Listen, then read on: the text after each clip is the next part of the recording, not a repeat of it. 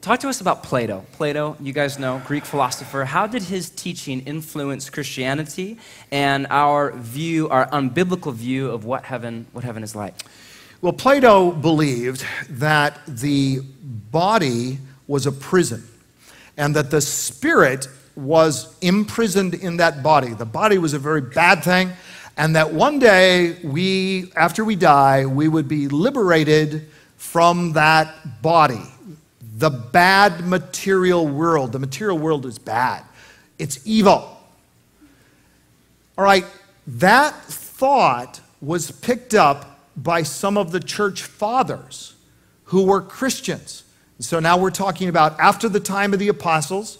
We're talking into the second century, the third century, coming up to the time of Augustine.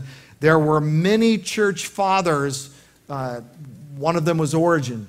Uh, who, who, who had a completely uh, messed up view. They were right in a number of areas, but a messed up view about the material world. They thought it was evil. Now, what does the Bible teach in Genesis 1 about the physical world and about our physical bodies? God looked upon it, and what did he say about it? It is good. It was good. It was very good. After the sixth day of creation, he looked at all he's created, Genesis 131, he, God beheld it and said, It is very good. Satan did not create the physical world. Satan did not create your body. God did. Now, that's extremely important. That is extremely important because if you look back, you say, did Satan manage to mess up the whole earth so that God's original plan of human beings ruling the earth to the glory of God would never be fulfilled? Did Satan really succeed in thwarting the plan of God? No.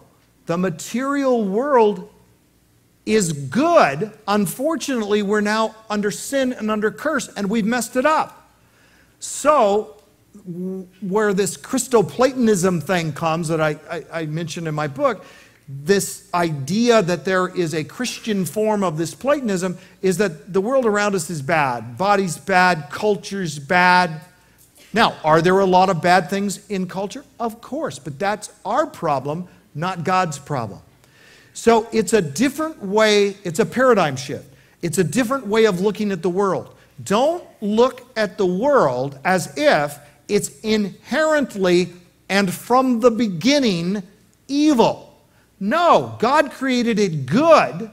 It got twisted. It got perverted, to use C.S. Lewis again in his space trilogy, Out of the Silent Planet, uh, Perelandra, that hideous strength. The word bent, the word bent. It's twisted, it's bent. It's not what it was originally designed to be, but the redemptive work of Christ means one day it will be unbent, it will be made right again. Hmm.